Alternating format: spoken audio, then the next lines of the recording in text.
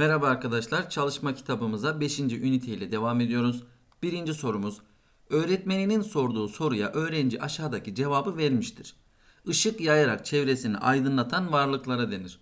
Buna göre öğretmen aşağıdaki sorulardan hangisini sormuş olabilir? Arkadaşlar dikkat edersek buradaki cevap ışık kaynağının tanımıdır. Yani demek ki öğretmenimiz ışık kaynağı nedir diye sormuş. Arkadaşımız da ne demiş? Işık yayarak çevresini aydınlatan varlıklara denir. Yani ışık kaynağı nedir olacak? Cevabımız B şıkkı. 2.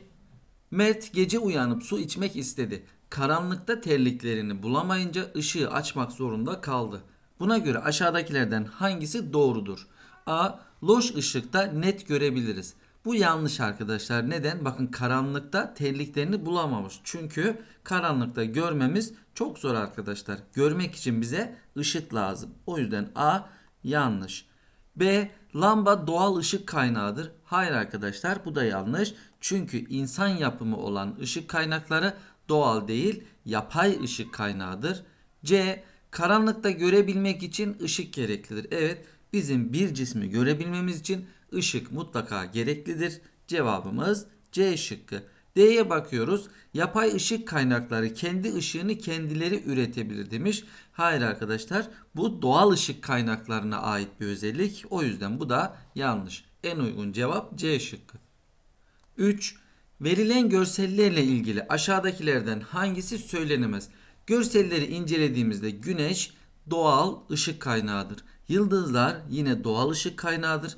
Ateş böceği bunlar da doğal ışık kaynağı. Şimşek yine doğal ışık kaynağı. İnsan yapısı olan ışık kaynaklarına da hatırlarsanız yapay ışık kaynağı diyoruz. A doğal ışık kaynaklardır. Evet hepsi doğal ışık kaynağıdır. O yüzden bu doğru. Bakın bize ne diyor? Söylenemez. Yani yanlış olan bir cevap arayacağız. B kendiliğinden ışık yayan varlıklardır. Evet bu da doğru bir cümle. C insanlar tarafından üretilen ışık kaynaklarıdır. Yanlış. İnsanlar tarafından üretilenlere yapay diyoruz arkadaşlar. O yüzden yanlış. Cevabımız C şıkkı. D'ye bakalım. Deniz anası da görselde yer alan varlıklarla aynı tür ışık kaynağıdır. Evet belgesellerde izlemişseniz arkadaşlar bazı deniz anaları böyle değişik rengarenk ışıklar yayabiliyor. Bu da doğal ışık kaynakları olduğu anlamına geliyor. Yanlış olan cevabımız C şıkkı. 4. Öğretmen öğrencilerinden tablodaki varlıkları doğal ve yapay ışık kaynağı olmalarına göre sınıflandırmalarını istiyor. Buna göre doğru işaretleme yapıldığında sonuç aşağıdakilerden hangisi olur? Güneş doğal ışık kaynağıdır. O yüzden buraya çarpı koyuyoruz. Ateş böceği yine doğal ışık kaynağıdır. Buraya koyuyoruz. Mum insan yapımı olduğu için yapay ışık kaynağı diyoruz. O da işaretini buraya koyuyoruz. Ne oldu arkadaşlar seçeneğimiz? Bakın B şıkkındaki gibi. Burası, burası ve burası. Cevabımız B. 5. Merve doğal ışık kaynakları için hazırladığı afişte aşağıdaki görsellerden hangisini kullanmamalıdır? Olumsuz ifadeye dikkat ediyoruz. Doğal ışık kaynağı olmayacak. Bakıyoruz arkadaşlar ay ışık kaynağı değildir. Güneşten aldığı ışığı yansıtır. O yüzden yanlış. B'ye bakıyoruz güneş doğal ışık kaynağıdır. Yıldırım doğal ışık kaynağıdır. Yıldızlar doğal ışık kaynağıdır. Ama ay ışık kaynağı değildir arkadaşlar. Güneşten aldığı ışığı bize yansıtır. Cevabımız A. 6. Aşağıdakilerden hangisi doğal ışık kaynağıdır? Doğal yani insan yapımı olmayan buna dikkat edeceğiz arkadaşlar. A ateş böceği evet doğal ışık kaynağıdır. Cevabımız A. Diğer seçeneklere bakalım. Ay zaten ışık kaynağı değildir. Güneşten aldığı ışığı bize yansıtır. Yanlış. El feneri insan yapımıdır. Bu yüzden yapay ışık kaynağıdır arkadaşlar. Bu da yanlış. D ateş yine insanların yaktığı ateş arkadaşlar. Yapay ışık kaynağıdır. Bu da yanlış. Cevabımız A. 7. Aşağıda ışık kaynakları ile ilgili kavram haritası verilmiştir. Buna göre soru işareti ile belirtilen yere aşağıdakilerden hangisi örnek olarak yazılamaz? Işık kaynakları doğal ve yapay ışık kaynakları olarak ikiye ayrılmış.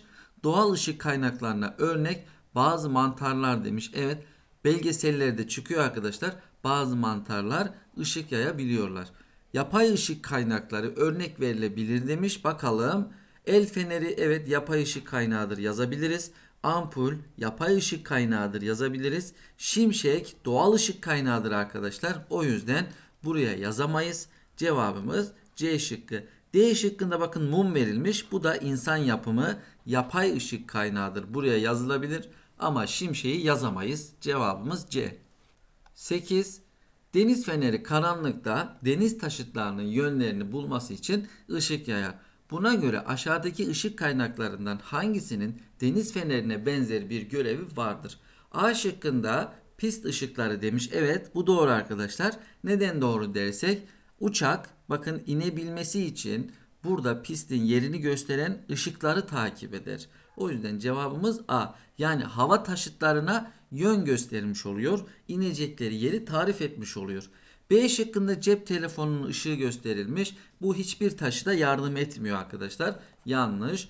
Araç farları aracın gideceği yönü bize tarif etmiyor. Sadece aracın önünü aydınlatıyor arkadaşlar.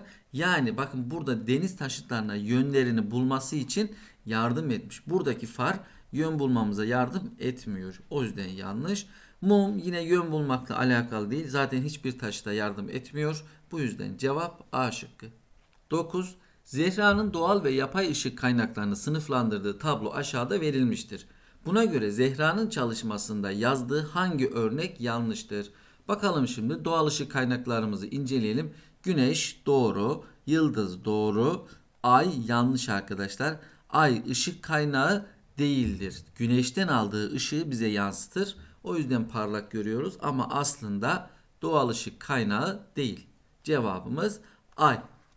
Yapay ışık kaynaklarını inceleyelim yine. Floresan lamba insan yapımı, meşale insan yapımı, deniz feneri ve mum yine insan yapımı olduğu için yapaydır. Burada herhangi bir yanlışlık yok. 10. Tabloda doğal ışık kaynakları maviye, yapay ışık kaynakları ise yeşile boyanacaktır. Buna göre doğru boyamalar yapıldığında tablo nasıl görünür? Öncelikle biz doğal ışık kaynaklarını maviye boyayalım. Mum insan yapımı, el feneri yapay, güneş doğal arkadaşlar. O yüzden şöyle maviye boyayalım. Ateş böceği yine doğal, maviye boyayalım. Meşale insan yapımı o yüzden boyamıyorum. Yıldırım yine doğal olduğu için boyuyoruz arkadaşlar. Bakın diğer kalanlarda yeşil olacak. O yüzden seçeneklere baktığımız zaman doğru cevabımız C şıkkı oluyor arkadaşlar. 11. Aşağıdaki ışık kaynaklarından hangisinin türü görseldeki ışık kaynağı ile aynıdır? Görselde bize güneş verilmiş ve güneş doğal bir ışık kaynağıdır arkadaşlar. Doğal bir ışık kaynağı aramamız gerekiyor. Masa lambası insan yapımı olduğu için yapaydır o yüzden olmaz. Mum yine insan yapımı olduğu için doğal ışık kaynağı değil. Deniz feneri insan yapımı olduğu için yine yapaydır arkadaşlar. Ateş böceği doğada kendiliğinden ışık yayan doğal bir ışık kaynağıdır. Cevabımız D şıkkı. 12. Aşağıdaki görsellerden hangisi yapay ışık kaynağıdır? Yapay ışık kaynağı demek insan yapımı olması gerekiyor. A şıkkında gaz lambası verilmiş. Bakın insan yapımı bir alettir arkadaşlar. Cevabımız A. Şimşek doğaldır, güneş doğaldır, ateş böceği doğaldır. Yapay olan A şıkkı. 13. Azra odasında kitap okurken birden elektrikler kesildi. Etrafını görebilmek için uygun bir şey bulmaya çalıştı. Buna göre aşağıdakilerden hangisi Azra'nın etrafını görebilmesine yardımcı olmaz? Olumsuz ifadeye dikkat ediyoruz. Azra'nın etrafını görebilmesi için herhangi bir ışık kaynağına ihtiyacı var. A. Mum evet etrafını görmesine yardım edebilir. El feneri yine ışık kaynağıdır etrafını görebilir. Gaz lambası yine ışık kaynağıdır etrafını görmesine yardımcı olur. Güneş gözlüğü arkadaşlar ışık kaynağı değildir. Aksine fazla ışıktan güneş ışığından korunmak için kullanırız. Cevabımız D şıkkı. 14. Yukarıdaki canlılardan hangileri doğal ışık kaynağıdır? Arkadaşlar internette biraz araştırma yaparsanız görürsünüz. Belki belgesellerde de karşınıza çıkmıştır. Deniz anasının, ahtapotun ve mürekkep balığının bazı türleri deniz altında çok güzel rengarenk ışıklar yayabiliyor. O yüzden bunlar üçü de doğal ışık kaynağı olarak söyleyebiliriz. Cevabımız D şıkkı. 15. Verilen bilgiler aşağıdaki ışık kaynaklarından hangisini tanımlamaktadır? Verilen bilgilerimize bakalım. Yapay ışık kaynağıdır. Uyarı niteliği taşır. insan eliyle üretilmiştir. Şimdi burada şuna dikkat ediyoruz. Uyarı niteliği taşıyormuş arkadaşlar. Masa lambası insan yapımıdır. İnsan eliyle üretilmiştir. Yapay ışık kaynağıdır. Ancak bize uyarı niteliği taşımaz. O yüzden bu olamaz. Yıldızlar doğal ışık kaynağıdır. Bize yapay ışık kaynağı lazım. O yüzden yanlış. Meşale yine burada uyarı niteliği dediğimiz kısma uymuyor arkadaşlar. Meşale böyle mağara gibi yerlerde, karanlık yerlerde bizi aydınlatma sağlar. Trafik lambası bakın üçüne de uyuyor.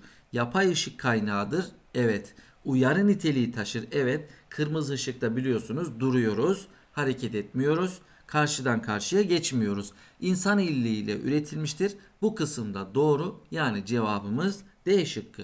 16. Görme olayı ile ilgili aşağıdaki ifadelerden hangisi doğrudur?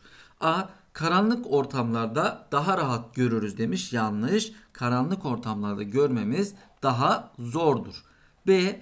Görme olayının gerçekleşmesi için ışığa ihtiyaç vardır. Evet, ışık olmadan maalesef göremiyoruz arkadaşlar. Cevabımız B şıkkı. C şıkkına bakalım. Gereğinden az ışık kaynağı kullanmak net görmemizi sağlar. Hayır, tam tersi bulanık görmemize sebep olabilir. D. Görme olayının gerçekleşmesi için varlıkların hareket etmesi gerekir demiş. Hayır, varlıklara arkadaşlar ışık gelmesi gerekiyor. Bu da yanlış. 17. Kulaktan kulağa oynayan çocuklardan ikisinin konuştuğunu diğerleri duymakta zorlanır. Bu durum aşağıdakilerden hangisi ile açıklanabilir? Burada dikkat edersek çocuklar kulaktan kulağa oynarken fısıltıyla konuşur. Bu da sesin işitilebilmesi için belirli bir yükseklikte olması gerektiğini bize gösterir. Şıklarımıza bakalım. A. İnsan sesinin doğal ses kaynağı olması bu kısık sesle alakalı değil. B. Sesin her yöne dalgalar halinde yayılması. Bu da olmaz. C. Sesin işitilebilmesinin ses şiddetine bağlı olması. Evet. Çünkü kısık ses şiddeti az olduğu için duymakta zorlanırız. Cevabımız C şıkkı. D şıkkına bakalım. Ses kaynağına yaklaştıkça sesin şiddetinin azalması tam tersi arkadaşlar. Ses kaynağına yaklaşırsak sesin şiddeti azalmaz artar. O yüzden bu da yanlış. Cevabımız C şıkkı. 18. Durgun suya taş atıldığında su yüzeyinde halkalar oluşur. Bu halkalar her yöne yayılır. Buna göre yukarıdaki görselde ses ile ilgili anlatılmak istenen nedir? Arkadaşlar bakın burada dalgalar oluşuyor. Ses de bildiğiniz gibi dalgalar halinde her yöne yayılır. Bize bunu anlatmak istiyor bu resimde. A. Ses kaynağına yaklaştıkça sesin şiddeti artar. Bakın sesin şiddetiyle ilgilenmiyoruz. Dalgalar halinde her yöne yayılmasından bahsetmemiz gerekiyor. O yüzden yanlış. B. Yüksek ses kulak sağlığımıza zarar verir. Yine burada kulak sağlığımız için bir bilgi yok. C. Su sesi doğal ses kaynağıdır. Hayır bu da değil. Ses dalgalar halinde yayılır. Bize bu örneği vermiş arkadaşlar. Buradaki dalgalar arkadaşlar havada göremediğimiz ses dalgaları oluşuyor. Bunu da hatırlatalım. Cevabımız D. 19. Özlem yaz tatilinde dedesinin köyüne gitmişti. Sabah erkenden gözlerini açtı. Onu uyandıran doğal bir ses kaynağıydı. Buna göre aşağıdakilerden hangisi özlemi uyandıran ses kaynağı olabilir? Arkadaşlar doğal ses kaynağı insan yapımı olmayacak. Doğanın kendisinden gelen bir ses olacak. Bakın şimdi B şıkkında traktör insan yapımıdır. O yüzden yapay. Televizyon insan yapımıdır. Bu yüzden yapay diyoruz. C şıkkında çalar saat yine insan yapımı. Ancak inek doğanın kendisinde olan bir canlı doğal bir ses kaynağı üretir. Cevabımız A şıkkı. 20. Tablodaki bilgiler doğru ise D, yanlış ise Y harfi boyanacaktı. Buna göre doğru boyama aşağıdakilerden hangisidir?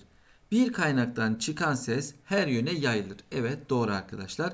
Her yöne dalgalar halinde yayılır. Ses kaynağından uzaklaştıkça duyulan sesin şiddeti artar demiş. Uzaklaştığımız için azalır arkadaşlar. Ne yapıyoruz? Uzaktaki insanlara sesimizi duyurmak için daha çok bağırmak zorunda kalıyoruz. Çünkü oraya gidene kadar sesimiz azalıyor.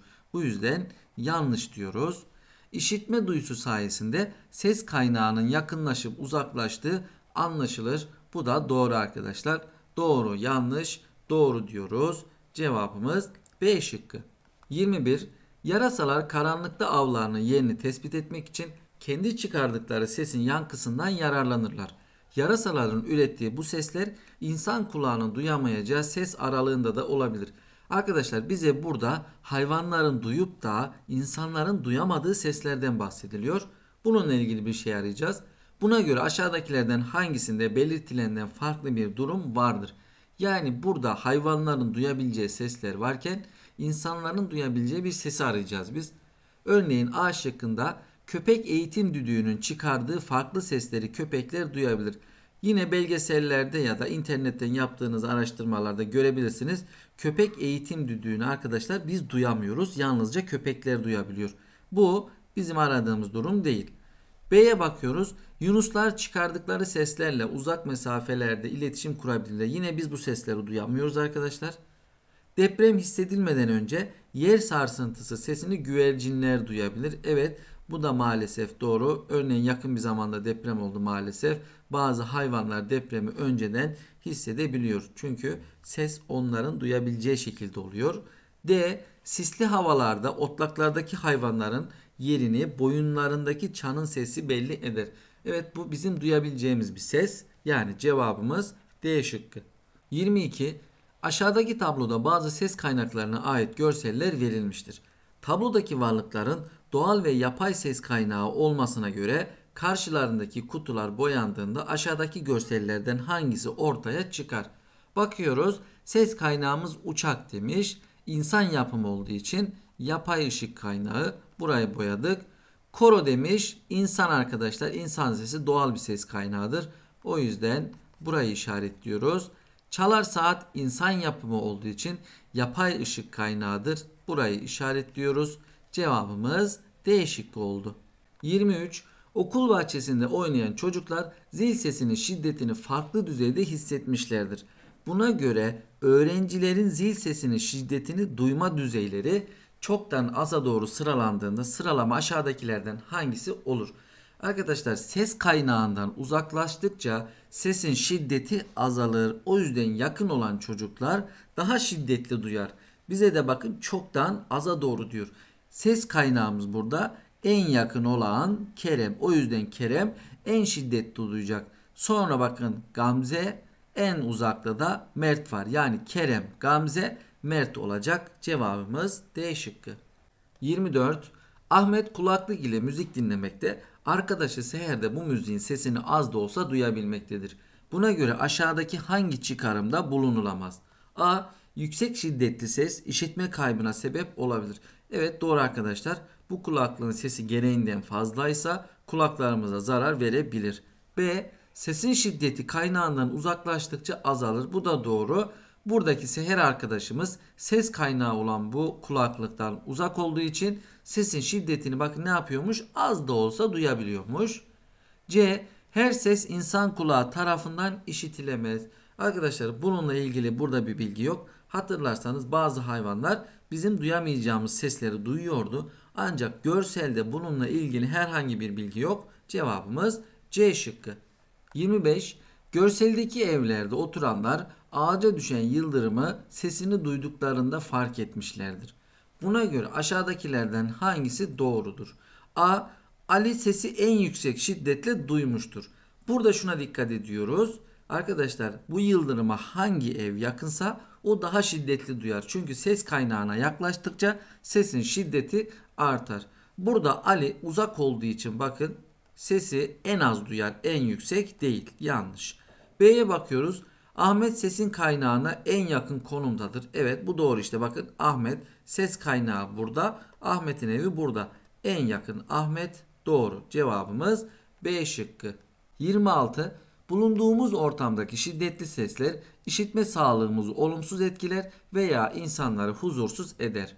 Aşağıdakilerden hangisinde bu tür bir ortama örnek verilmiştir?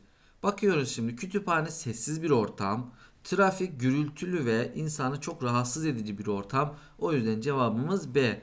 Orman ve kumsal verilmiş. Buralar sessiz sakin yerlerdir. İnsanlara huzur verir.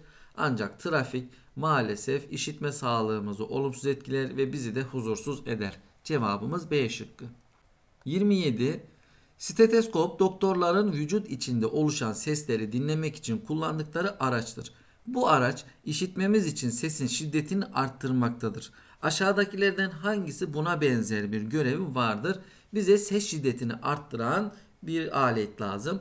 Davul sesin şiddetini arttırmıyor. Bu bir müzik aleti olmaz. Megafon evet insanların özellikle sokaklarda böyle topluluğa bağırmak için, seslerini duyurmak için kullandıkları bir alet sesimizin şiddetini arttırıyor arkadaşlar. Cevabımız B şıkkı. Hatırlarsak şöyle bir şekli vardı arkadaşlar. Bu içinde bir şey var. Şu kulpundan tutup bağırıyoruz. Buna megafon diyoruz. Cevabımız B. 28. Aşağıdaki ulaşım araçları ürettikleri ses şiddetlerine göre büyükten küçüğe sıralanacaktır. Buna göre doğru sıralama aşağıdakilerden hangisidir? Burada en çok sesi arkadaşlar uçak üretiyor. O yüzden en başta uçak olacak. Uçaktan sonra bakın kamyon çok gürültülüdür. Sonra otomobil en az ses çıkaran ise bisiklettir. Uçak, kamyon, otomobil, bisiklet cevabımız A şıkkı. 29. Arda amcasıyla pazarda alışveriş yaparken uzaktan davul sesi duymuştur. Yürümeye devam eden Arda ve amcası davul sesini daha şiddetli duymaya başlamışlardır. Buna göre Arda ve amcasının davulun sesini daha şiddetli duymasının sebebi hangisi olabilir? Arkadaşlar davulun şiddeti gitgide artıyorsa demek ki bunlar davula yaklaşıyordur. Yani ses kaynağına yaklaşıyordur. Böyle bir cümle aramamız gerekiyor. A. Bir yük kamyonunun yanlarından geçiyor olması. Hayır. Davul çalan kişinin onlara doğru geliyor olması. Evet bu olabilir arkadaşlar. Çünkü davul çalan kişi arkadaşımıza Arda'ya ve amcasına yaklaşıyorsa ses kaynağına yaklaşmış oluyorlar. Bu da sesin şiddetli duyulmasına yol açar. Cevabımız B şıkkı. 30. Ambulans önündeki araçların yol vermesi için siren sesini açmıştır. Tüm araçlar yol vermek için şerit değiştirmişlerdir. Buna göre aşağıdaki ifadelerden hangisi doğrudur? A. Siren sesi sarı araçtaki sürücüye ulaşmaz. Hayır ulaşır arkadaşlar. Yani bakın ne diyor burada? Tüm araçlar yol vermek için şerit değiştirmişler. Demek ki bu arkadaşımız da duymuştur. B. Kırmızı araçtaki sürücü siren sesini en yüksek şiddette duyar. Hayır en yakın olan mavi o daha şiddetli duyar. Bu da yanlış. C. Ambulans uzaklaştıkça mavi araçta duyulan siren sesinin şiddeti azalır. Evet bu doğru arkadaşlar. Çünkü ses kaynağı uzaklaştıkça sesin şiddeti de azalır. Cevabımız C şıkkı. 31. Alper'in aşağıdaki ortamların hangisinde uzun süre bulunması işitme kaybına neden olmaz. Bakın neden olmaz. Yani bize bir zarar vermeyen seçenek arayacağız. Okul kütüphanesi arkadaşlar sessiz sakin güzel bir ortamdır. Burada durmak işitme kaybına neden olmaz. Cevabımız A. Bakın konser alanı demiş gürültülü bir ortam. Kulaklarımıza zarar verebilir. Şehir trafiği yine gürültülü bir ortam zarar verebilir. Futbol stadyumu yine çok fazla sesin olduğu bir yer. Bu da zarar verebilir. Cevabımız A şıkkı. 32. Aşağıda bazı ışık kaynaklarına ait numaralanmış görseller verilmiştir. Bu ışık kaynaklarını doğal ve yapay olmalarına göre sınıflandırarak aşağıdaki tabloya numaralarını yazınız. Bakalım bir el feneri demiş yapay. O yüzden buraya 1 yazıyoruz. Şimşek doğaldır. 2 yazıyoruz. Güneş doğaldır. 3. Sokak lambası insan yapımı olduğu için yapaydır. 4 diyoruz. Mum yine insan yapımı. O yüzden yapay 5. Buraya yazdık. Ateş böceği doğaldır. O yüzden bu kısma yazdık 6'yı. Gaz lambası ve meşale insan yapımıdır. Yapay. O yüzden 7 ile 8'de buraya yazıyoruz. 33. Aşağıdaki bilgilerin başındaki boşluklara doğru ise D, yanlış ise Y yazınız. Ay bir ışık kaynağı değildir. Doğru. Güneşten aldığı ışığı bize yansıtır. Ortamdaki ışık miktarı azaldıkça etrafımızı daha net görürüz demiş. Yanlış arkadaşlar. Daha zor görmeye başlarız. Yapay ve doğal olmak üzere iki tür ışık kaynağı vardır. Evet bu da doğru. Görme olayının gerçekleşmesi için ışık gereklidir. Evet ışık mutlaka gereklidir arkadaşlar. Bu da doğru. Güneş yapay bir ışık kaynağıdır. Yanlış arkadaşlar. doğal bir ışık kaynağıdır olacak. O yüzden yanlış diyoruz. Aydınlatması yetersiz ortamda kitap okumak bizi rahatlatır demiş. Yanlış arkadaşlar. Göz sağlığımız için hiç de iyi bir şey değil. Işığın yeterli olması gerekiyor. Y yazıyoruz. Bir binanın ne kadar ışığa ihtiyaç olduğu mühendisler tarafından hesaplanır. Evet doğru. Buna göre pencerelerin büyüklükleri falan ayarlanır ve lambalar da buna göre ayarlanır. Doğru diyoruz. Aydınlatma için gereğinden fazla ışık kaynağı kullanmak tasarruf sağlar demiş. Tam tersi arkadaşlar. Tasarruf değil. Bu sadece gereksiz bir harcama olur. Bu da yanlış olarak yazıyoruz. 34. Aşağıdaki cümlelerde boş bırakılan yerlere verilen ifadelerden uygun olanları yazınız. 1. Etrafı ışık yayan, çevremizdeki varlıkları görmemizi sağlayan varlıklara ışık kaynağı diyoruz arkadaşlar. Hemen yazalım. Işık kaynağı denir. 2. Ampul, mum gibi insanlar tarafından üretilen varlıklar yapay ışık kaynaklarıdır. 3. Ay, fosforlu kıyafetler gibi ışık kaynağı değildir demiş. Evet, burada bakalım. Aynı arkadaşlar. Bunlar ışık kaynağı değildir. Bize ışığı yansıtan maddelerdir. 4. Çevresine kendiliğinden ışık yayan varlıklar tabii ki doğal ışık kaynağıdır. 5. Ateş böceği gibi varlıklar ışık yayabilen doğal ışık kaynaklarıdır. Burada bakıyoruz deniz anası var arkadaşlar. O yüzden buraya da deniz anası yazıyoruz. Bu şekilde de 34. soruyu tamamlıyoruz. 35. Aşağıdaki ses kaynaklarını çıkardıkları sesin şiddetine göre en düşükten en yükseğe sıralayınız. İlk sıralama siz için yapılmıştır. Burada bakın kuş verilmiş. Kuştan sonra tabii ki ne olacak? Çalar saat olacak. Sonra bakın helikopter. Hemen yazalım. Helikopter. Sonrakine bakıyoruz. Arı, şelale, roket arkadaşlar. Tabii ki burada şelale, arı, burada en az sesi çıkaran arı. Sonra şelale. Bakın en çok sesi çıkaran da roket olur. Bu şekilde tamamlıyoruz. 36. Aşağıdaki ifadelerde boş bırakılan yerlere getirilmesi gereken kavramları bularak bulmacayı tamamlayınız. 1. Ses oluşturan tüm varlıklara ses kaynağı diyoruz arkadaşlar. Yazalım buraya. Ses kaynağı. Buraya da yazalım aynı şekilde. Ses kaynağı. 2.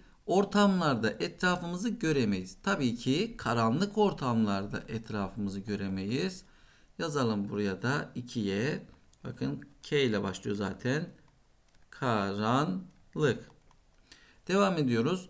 3. Çevresini aydınlatan varlıklara ışık kaynağı denir. O yüzden 3'e de hemen ışık yazalım burada bakın. Işık. Devam ediyoruz. 4. Sesin duyulmasını sağlayan özelliğe ses şiddeti denir arkadaşlar. Hemen onu da yazalım. 4'e bakın burada ses şiddeti. Devam ediyoruz. 5. Doğada kendiliğinden ses çıkarabilen kaynaklara doğal ses kaynakları diyoruz. Yazalım 5'e doğalı. Bakın burada doğal. 6. Doğal ışık kaynaklarının yetersiz olduğu durumlar için insanlar kendi yapay ışık kaynaklarını üretmişlerdir. En son 6'ya da yapay yazıyoruz. 37. Aşağıdaki görsellerden doğal ışık kaynağı olanlar ile doğal ses kaynağı olanları boyayınız demiş.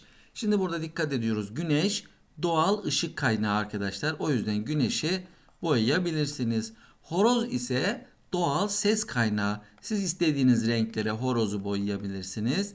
Gitar yapaydır arkadaşlar. O yüzden yapay ses kaynağını boyamıyoruz.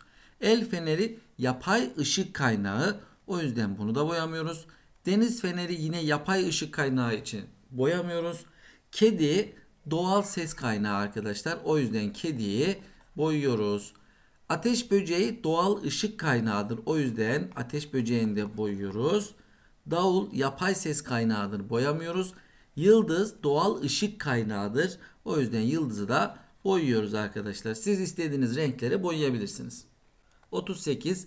Aşağıdaki ifadelerin başındaki boşluklara doğru ise D, yanlış ise Y yazınız. Meşale doğal bir ışık kaynağıdır demiş. Yanlış arkadaşlar. Yapay ışık kaynağıdır. Karanlık bir ortamda bir cismi görebilmek için ışık gerekir. Evet doğru. Işık olmadan bir cismi göremeyiz arkadaşlar. Ses kaynağına yaklaştıkça ses şiddeti artar, uzaklaştıkça azalır. Evet doğru. Ses kaynağına ne kadar yaklaşırsak sesin şiddeti o kadar artar. Doğru. Deniz feneri uyarı amaçlı aydınlatma sağlar. Evet özellikle gemilerin yollarını bulmalar için onları uyarıyor arkadaşlar. Bu da doğru. Ses kaynağını görmeden sesi işitemeyiz. Yanlış arkadaşlar. Örneğin arkamızdan bir arkadaşımız bize seslendiği zaman onu görmesek de sesini duyabiliriz. Cansız varlıklar ses kaynağı olabilir. Evet örneğin rüzgar, kaya, su bunlar cansız olmasına rağmen ses çıkarabilirler arkadaşlar. Doğru. Yapay ses kaynakları dışarıdan bir etki olmadan ses çıkarabilir demiş. Yanlış arkadaşlar. Örneğin flüt var elimizde. Yapay bir ses kaynağıdır. Kendi kendine ses çıkaramaz arkadaşlar. Dışarıdan bir etki gerekiyor. O yüzden yanlış diyoruz. İşitme kaybı yaşayan insanlar duyabilmek için işitme cihazı kullanabilirler. Evet, özellikle yaşlı amcalarımız, teyzelerimiz yaşlanınca kulakları iyi duymadığı için bu işitme cihazını kullanıyorlar arkadaşlar. Bu da doğru. 39. Aşağıda ses kaynaklarını türleriyle eşleştiriniz demiş. Cep telefonu yapay ses kaynağıdır arkadaşlar. Bilgisayar yine yapay ses kaynağıdır. Dalga doğal ses kaynağıdır. Bakıyoruz flüt yapay ses kaynağı, gök gürültüsü doğal, rüzgar yine doğal, motosiklet yapay, sivrisinek doğal. Kısaca insanların yaptığı aletlerden çıkan sesler yapay ses kaynağı, doğada kendiliğinden oluşan sesler ise doğal ses kaynağından oluşur. Bu şekilde tamamlıyoruz. 40. Görsellerdeki ortamlarda duyulabilecek seslerin kaynaklarına birer örnek veriniz. Bu kaynakları doğal ya da yapay olma durumlarına göre örnekteki gibi işaretleyiniz. İlk resmimizde yağmur verilmiş ama dikkat edersek burada sadece yağmur yok. İnsanlar var, motosiklet var, araçlar var. O yüzden bunlara da dikkat edebilirsiniz. İstediğinizi seçebilirsiniz. İkinci resme bakıyoruz. Burada bakın bir traktör var. Bu bir ses kaynağı.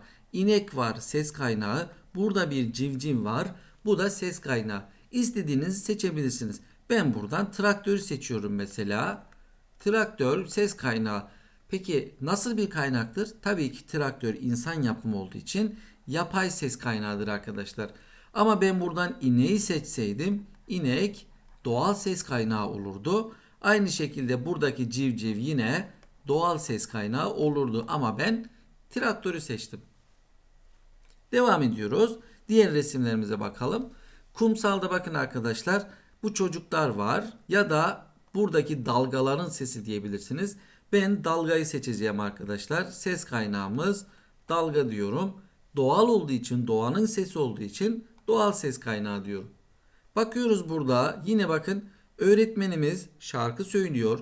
Buradaki çocuklar da şarkı söylüyor ve öğretmenimiz piyano çalıyor. Siz ya çocukları seçebilirsiniz, öğretmeni seçebilirsiniz ya da piyanoyu seçebilirsiniz. Ben buradan piyanoyu seçiyorum arkadaşlar. Peki piyano nedir arkadaşlar? İnsan yapımı bir müzik aletidir. O yüzden buna yapay ses kaynağı diyoruz arkadaşlar. Devam edelim resimlerimize. Bakın burada havalimanı var. Havalimanında uçaklar var. Uçaklarla beraber insanlar var. Değişik burada bakın aletler var. Herhangi birini seçebilirsiniz. Ben uçak seçiyorum buradan. Uçak insan yapımı olduğu için yapay ses kaynağıdır. Burada çocuk tiyatrosu verilmiş çocuklar var. Ben burada ses kaynağı olarak çocukları seçiyorum. Çocuklar nedir arkadaşlar? İnsandır ve doğaldır. Doğanın bir parçasıdır. O yüzden doğal ses kaynağı diyoruz. 41. Aşağıdaki cümlelerde boş bırakılan yerlere verilen kelimelerden uygun olanları yazınız. 1. Ses kaynağından çıkan ses arkadaşlar dalgalar halinde her yöne yayılır. O yüzden buraya dalgalar diyoruz. 2. Yüksek olan trafikteki araçların sesi insanları rahatsız eder. Trafikteki araçların sesi arkadaşlar şiddetli bir sestir. O yüzden buraya ses şiddeti yüksek olan trafikteki araçların sesi insanları rahatsız eder şeklinde tamamlıyoruz. 3. İnsanlar tarafından üretilmiş ses çıkartan varlıklara yapay ses kaynağı denir arkadaşlar. Hemen yazalım buraya yapay. 4. Daha önce işittiğimiz bir sesi tekrar duyduğumuzda bu ses bakın nedir biliriz demiş. Kaynağını biliriz arkadaşlar. Hemen yazalım buraya. Kaynağı nedir biliriz. 5. Ses kaynağına yaklaştıkça duyulan sesin şiddeti yaklaştığımız için tabii ki artar diyoruz. 6. Varlıklar ses oluşturur demiş arkadaşlar. Tabii ki sesin ana kaynağı titreşimdir arkadaşlar. Varlıklar titreşerek ses oluşturur. 42. Aşağıdaki numaralanmış örnek olaylarda yaşanan durumları sebepleriyle eşleştiriniz. Eşleştirmeler sonucunda verilen harfleri sırasıyla şifre kutusundaki uygun bölüme yazarak şifreyi bulunuz. 1. Serkan ve Okan kaldırımda sohbet ederken yanlarından bir ambulans siren çalarak geçti. O sırada birbirlerini duyamadılar. Neden duyamaz arkadaşlar? Tabii ki ambulansın sireni yüksek şiddette ses üretir. Bu yüzden de birbirlerini duyamadılar. H harfini bir numaralı kutucuğumuza yazalım. 2. Elif'in dayısı havaalanındaki uçak pistinde çalıştığı için kulaklık takmaktadır. Çünkü yüksek şiddetteki sesler insan kulağına zarar verebilir ve işitme kaybına yol açabilir. O yüzden 2'ye A diyoruz. 3. Gece su içmek için kalkan Tarık karanlıkta bardağı bulamamıştır. Çünkü karanlık arkadaşlar ışık yok. Görme olayı için ne gerekli? Işık gerekli. O yüzden 3'e de R yazıyoruz. 4. Mehmet kendisine seslenen arkadaşını görmediği halde sesini duyabilmektedir. Çünkü ses her yönde yayılır, görmese de rahatlıkla duyabilir. Buraya da iyi yazıyoruz.